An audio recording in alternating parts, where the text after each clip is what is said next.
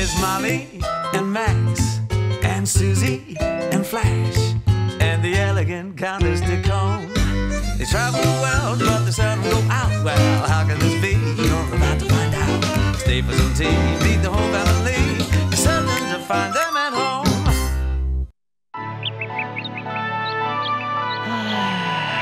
This is the life. It's a do nothing day, and here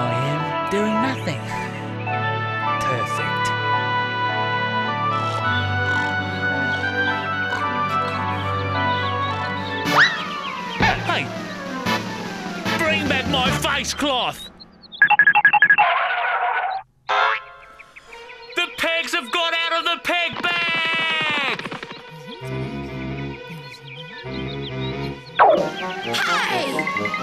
Hey!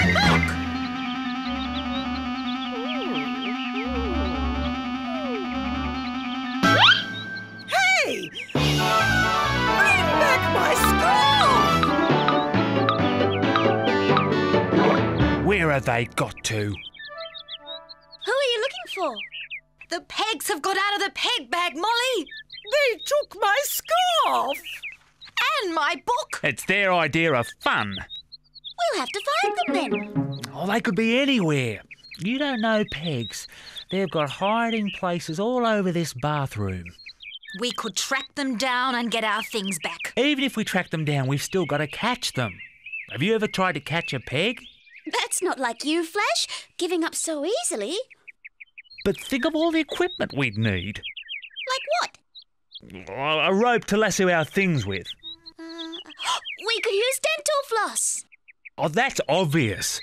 But we might have to net the pegs too. Why not use the hairnet?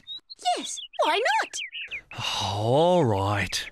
We'll track down the pegs, but I'm telling you it won't be any use. You don't know pegs.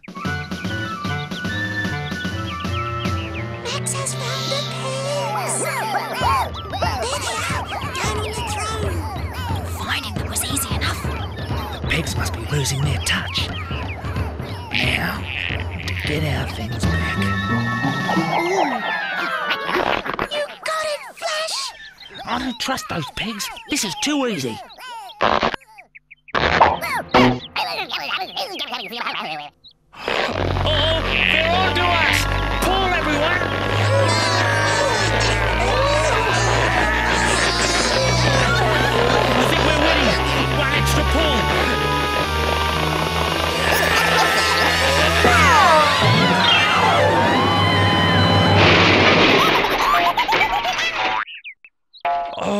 Those tricky little pigs!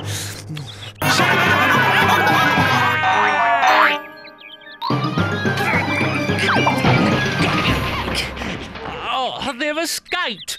The crafty pigs! Flash, you wait there and we'll drive the pegs towards you. Then you can catch them.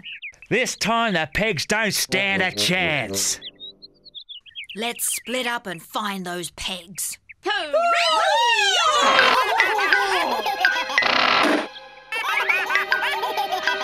Oh!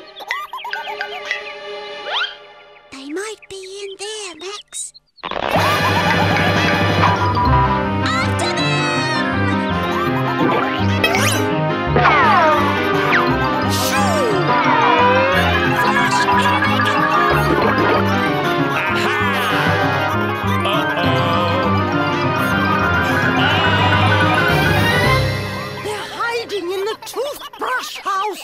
We've got you surrounded, pegs. Now give up and go back into the peg bag. Yes, you've created enough havoc for one day. Now out you come!